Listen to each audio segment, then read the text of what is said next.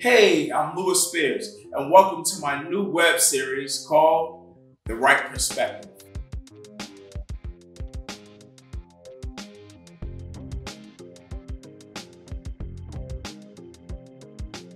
I am a lifelong educator. I've taught for about 14 years. I'm a husband, I'm a father, I'm an executive director of an after school program, Kismet of Kings, and I'm also an author of an Amazon number one bestseller, You Are the Answer to the Problem from the Hood to Harvard and Back Again. In this web series, we're focusing primarily on how to deal with children. And if you aren't a parent, then how to deal with a spouse. And if you are married, I want to help you with your family. I, I, you know, just your whole person, your mind, your body, and your soul. Right? This is an uncertain time for all of us. And what I want to do is serve as uh, a source of information and inspiration to get us through these trying times. You know, these, this pandemic. So while you're strolling through social media, um, I just want to give you a different perspective. You know, I, I will argue the right perspective when it comes to healthy living. Thank you for tuning in and let me know what you think.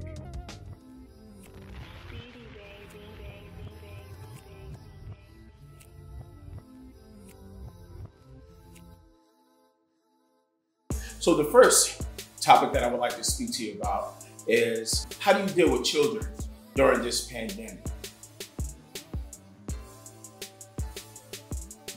Felt it only natural to speak about children first because I'm an educator and I'm also a parent who has a toddler an eight week old in my house right now. So parents, I definitely understand what you're going through.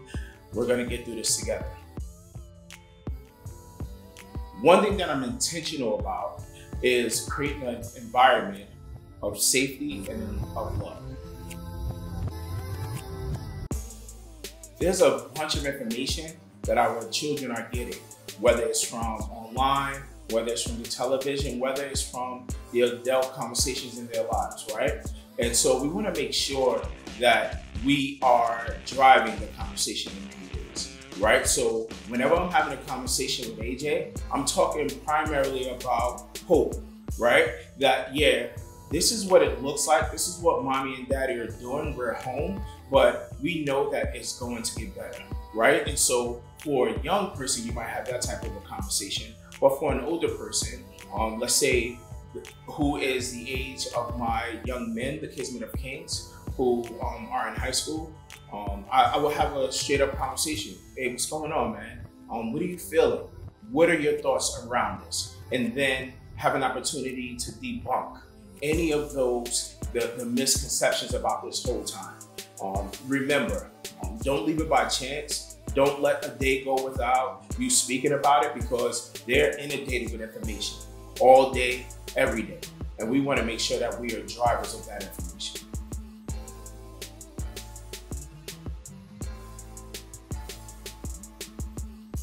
So the second piece is set a routine, right? I've seen crazy, crazy uh, Facebook posts or social uh, Instagram posts about like, you know, Johnny wakes up at eight o'clock and he's gonna eat from eight to 8.30. From 8.30 to nine, he's gonna read. And from 9.30 to 12, he's gonna play. Um, I don't subscribe by that. Um, I am task oriented for the older kids and time interval oriented for the younger kids. What do I mean? Right? Um, with the older children, I'm gonna make sure that, hey, if you uh, clean your room, right, then you can play your game. Or if you do your homework, then you can eat. Well, maybe that was maybe that wasn't the right uh, correlation, but you you get what I'm saying, right? If you do your homework, then you can go outside onto the porch and you know listen to your music. Um, make sure that it's task oriented um, when, when, you're actually assigning um, things for them to do. For the younger generation, like my my uh, toddler, who, who is all over the place, I'm very conscious about uh, giving him time interval uh, tasks. What do I mean by that? All right, AJ, we're gonna clean your room in three minutes. Here's a timer, get to work, right? Because ultimately with this with this three-year-old, it's oftentimes easier for me to get him to build a rocket than to actually uh, clean his room.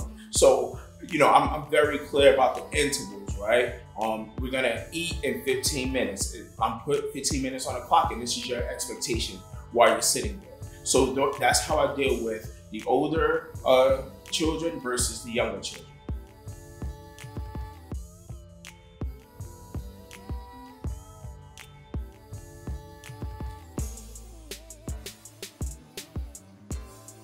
The third thing is to engage in a daily activity with your children. At the end of the day, many people have said that we have never dealt with something like this before. And it's true. And to be told, we probably won't ever want to go do something like this. But while we have the time, this is precious time, right? You can use this time to build a solid relationship with your children. You know, as it growing up, I don't remember like the latest sneakers I got or, you know, the, the, the, phone. I mean, we didn't get the, we don't have iPhones or we didn't have iPhones or anything like that. But I remember watching Home Alone for about 30 times, right? I remember when it snowed one time, we walked to Booker T projects where we grew up. Whoop, whoop. Uh, I remember walking there and like playing in the snow with my mother, my stepdad, and my siblings. Right. So those are the memories that I that that I hold dear to my heart and that I cherish. My hope um, is during this time that you will create those memories with your children. Right. Take them to the park with my son. Um, we walk around the block. We cook together. We read together.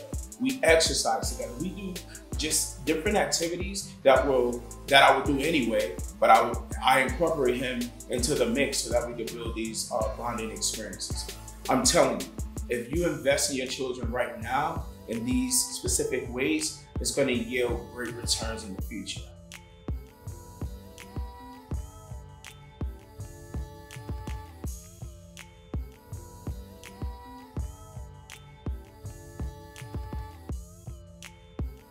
So before we end this particular episode, I would like to leave you with resources that are really, really helpful for your youngsters. For my son, I use Endless Alphabets, which is um, an app that focuses a lot on development um, with the sounds and the letter recognition um, and the blending of letters in the alphabet.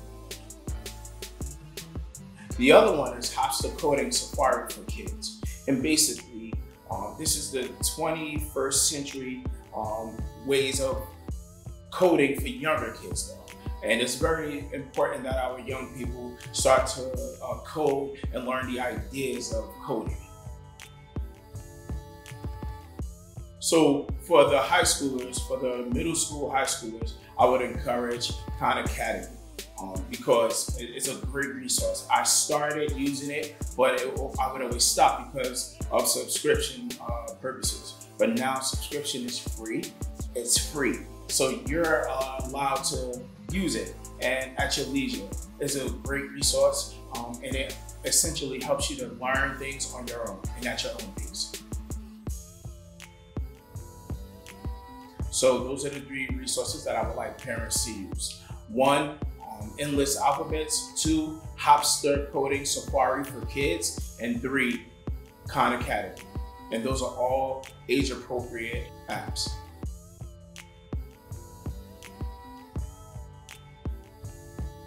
So thank you, thank you, thank you so much for listening to the first episode of my web series. Thank you, thank you, thank you. No, but if you enjoyed it, right, or if you were inspired, I hope that this has added quality to your life, especially during these uncertain times, right? Our young people are looking to us. Our young people are are using us as as a goalpost to figure out what they are going to do.